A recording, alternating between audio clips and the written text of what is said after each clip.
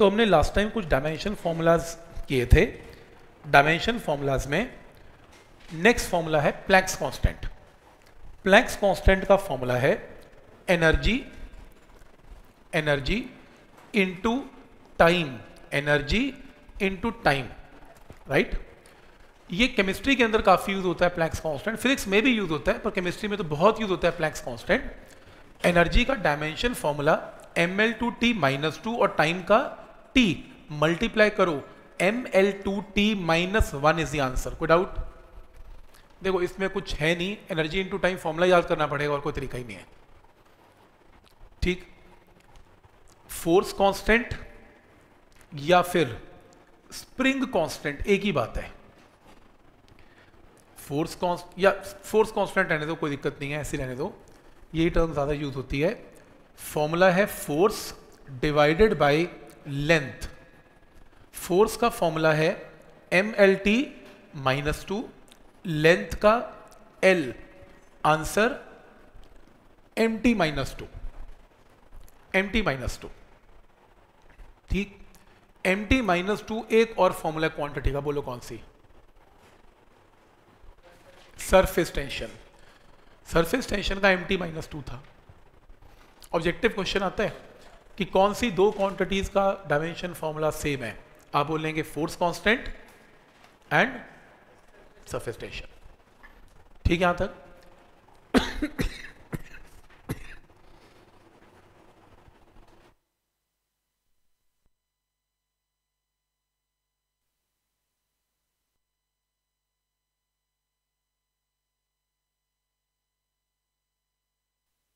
जो angular velocity है, इसका फॉर्मूला वन अपॉन टाइम था। तो किया था वन अपॉन टाइम तो T raise to power minus one ऐसा फॉर्मूला था। ठीक है यहाँ तक? नेक्स्ट जो फॉर्मूला है, वो है यूनिवर्सल गैस कांस्टेंट केमिस्ट्री के अंदर नॉर्मली इक्वेशन यूज़ होती है गैस की इक्वेशन है। उनमें से एक इक्वेशन है वन मोल के लिए PV is equal to R T शायद केमिस्ट्री के टीचर ने करवाया भी होगा। गैस की इक्वेशन है PV is equal to R T इसमें P प्रेशर है, V वॉल्यूम है, R गैस कांस्टेंट है और T फॉर टेम्परेचर है। तो R गैस कांस्टेंट है is equal to P V by T pressure का डायमेंशन फॉर्मूला देखो, मेरे को याद नहीं है, पर इतना पता है फोर्स बाय एरिया होता है। M L T minus two को एल टू से डिवाइड करेंगे तो M L minus one T minus two तो यहाँ पर प्रेशर का dimension formula is M L minus one T minus two into volume का L cube divided by T for temperature का केल्विन क्या है पॉइंट क्लियर है? तो यहाँ से M L square T minus two के माइनस वन इज़ आंसर ठीक है? तो P for pressure V for volume T for Kelvin answer come use होता है, पर फिर भी कभी कभी हो जाता है। मोल हम लेते नहीं फिजिक्स में केमिस्ट्री वाले पढ़ाते हैं मोल्स ठीक है, हम मोल के चक्कर में पढ़ते ही नहीं है फिजिक्स वाले। क्योंकि केमिस्ट्री के खाते में डाल देते तो बढ़ा लेना है यार, जो बढ़ाना है। हम भी मोल शुरू हो गए तो फिर यार गड़बड़ हो जाएगी। ठीक, वन मोल के लिए करते हैं। ठीक है? नेक्स्ट है बोल्ट्समैन कांस्टेंट ये भी एक साइंटिस्ट था यार बोल्ट्समैन केमिस्ट्री में आएगा ये फिजिक्स में नहीं आता। बोल्ट्समैन कांस्टेंट का फॉर्मूला है gas constant divided by Avogadro's number सुना होगा केमिस्ट्री में एवोगेड्रोज नंबर जिसकी वैल्यू हाँ अभी नई नई केमिस्ट्री पढ़नी शुरू की है, याद हो गया है, वो एवोगेड्रोज नंबर, ऐसा ही है। है तो नंबर ना तो इसका कोई डायमेंशन फॉर्मूला तो है नहीं। तो जो आर का फॉर्मूला है ऊपर, वही डायमेंशन फॉर्मूला बोल्ट्समैन कांस्टेंट का सेम है। तो बोल्ट्समैन कांस्टेंट और गैस कांस्टेंट का डायमेंशन फॉर्मूला सेम है, बात खत्म होगी। ठीक है यहाँ तक कोई डाउट इसमें? रोटेशनल कानेटिक एनर्जी चाहे हीट एनर्जी हो, चाहे रोटेशनल कानेटिक एनर्जी हो, चाहे कानेटिक एनर्जी हो, चाहे पोटेंशियल एनर्जी हो, चाहे पता नहीं कौन सी एनर्जी हो। एनर्जी एनर्जी है, कुछ याद करने की ज़रूरत नहीं है। कोई फॉर्मूला हो M L two T minus two formula लिखने की ज़रूरत क्या है? होता है इसका फॉर्मूला पर क्यों एक फॉर्मूला फालतू करना? तो जो एनर्जी का फॉर्मूला वही इसका फॉर्मूला है। क्या पॉइंट क्लियर है? नेक्स्ट है सरफेस एनर्जी या स्टार लगा लेना। सरफेस एनर्जी बताता हूँ क्यों?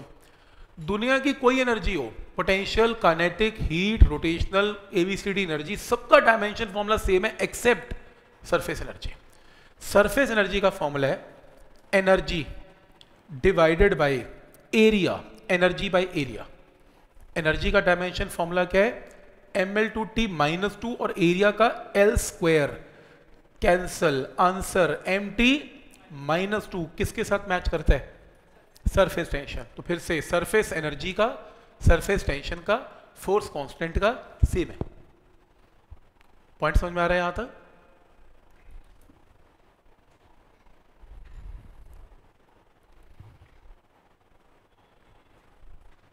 किया हुआ है?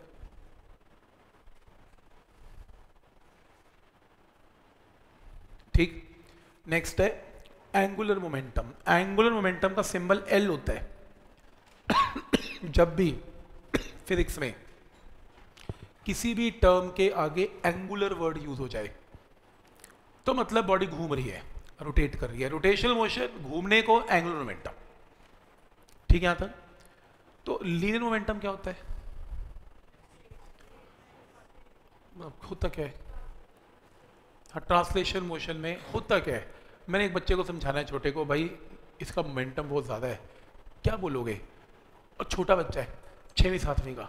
क्या बोलोगे? It is the amount of motion possessed by body is known as linear momentum वो कहेगा, ये क्या बातें कर रहा है? लीनियर मोशन में क्या वर्ड है क्या? स्ट्रेट लाइन मोशन है बट वो तो कहेगा कि ठीक है, गाड़ी निकल गई, क्या उसका लीनियर मोमेंटम है? तो है क्या? फॉर्मूला क्या है? मास इनटू वेलोसिटी अगर एक बहुत बड़ा मास है, बहुत बड़ा पत्थर है, पहाड़ से आ रहा है वेलोसिटी थोड़ी है तो भी उसका मोमेंटम ज़्यादा है, क्योंकि इन टू वी में से या तो एम बड़ा हो या वी बड़ा हो या दोनों बड़े हो तो जाके लीनियर मोमेंटम बड़ा होगा। तो मास बड़ा है, चाहे वेलोसिटी छोटी है तो भी मोमेंटम बड़ा है। सेकेंड अगर गोली चलती है वेलोसिटी बहुत तेज़ है, पर मास छोटा है तो इन टू में वी बड़ा हो गया तो वो भी मोमेंटम बड़ा है। और अगर मास भी बड़ा है और वेलोसिटी भी बढ़ी है, फिर तो ज़बरदस्त एंगुलर फिर तो ज़बरदस्त मोमेंटम है। एम या वी में से कोई भी चीज़ बढ़ी है तो मोमेंटम बढ़ा है। क्लियर है? तो उतनी ज़्यादा मोशन होएगी। अब एंगुलर मोमेंटम के अंदर क्या है? घूमने का मोमेंटम एंगुलर मीन घूमने का मोमेंटम जैसे। एक छोटा सा पंख है। बहुत तेज घूम रहा है। ज़बरदस्त घूम रहा है। तो यानी कि ओमेगा बहुत ज़्यादा है। घूमने की वेलोसिटी को एंगुलर वेलोसिटी बोलते हैं, वैसे बता दूँ तो एंगुलर वेलोसिटी ओमेगा बहुत ज़्यादा है। हम बोलते हैं एंगुलर मोमेंटम बहुत बड़ा है। अच्छा उल्टा, पंखा बहुत बड़ा है। लेकिन चल स्लो रहा है ओमेगा छोटा है। घूमने की स्पीड तो भी एंगुलर मोमेंटम बड़ा है। लेकिन अगर पंखा बहुत बड़ा है, घूम भी बहुत तेज रहा है तो एंगुलर मोमेंटम बहुत ज़्यादा है। बहुत घूमने की मोशन बहुत ज़्यादा है उसमें। तो बेसिकली एंगुलर मोमेंटम दो चीज़ों का प्रोडक्ट है। एक moment of inertia linear motion में स्ट्रेट लाइन मोशन में मास लेते हैं। लेकिन रोटेशनल मोशन में बॉडी की मास के साथ शेप भी मैटर करती है तो क्या लेते हैं? Moment of inertia into angular velocity ये हम रोटेशनल मोशन में करेंगे तो I into omega is angular momentum I for moment of inertia moment of inertia का फॉर्मूला क्या था? याद करो एम एल स्क्वेयर और ओमेगा क्या? टी की power minus one answer M L two T minus one is answer क्या ये पॉइंट क्लियर है यहाँ तक? ये इसका आंसर है। कम यूज़ होता है ये। बहुत कम यूज़ होते हैं टर्म्स तो I for moment of inertia M L square omega का मतलब टी की पावर माइनस वन सही है? और इसमें एक और फॉर्मूला ऐड कर लें, जो बहुत इंपॉर्टेंट है, काफ़ी यूज़ होता है, रह गया. और वो है एंगल एंगल एंगल कैसे होता है? देखो, अगर सपोज़ करो ये एक सेक्टर है और बॉडी ने ये आर्क कवर कर ली और ये बॉडी का रेडियस है। तो एंगल कितना कवर हुआ? थीटा तो एंगल का फॉर्मूला पता है क्या है? आर्क डिवाइडेड बाय रेडियस ये एंगल है राइट आर्क किसमें मेजर करते हैं? लेंथ होती है आर्क रेडियस भी क्या होती है? लेंथ होती है। कट गया answer is one angle is dimensionless याद रखना। Angle is dimensionless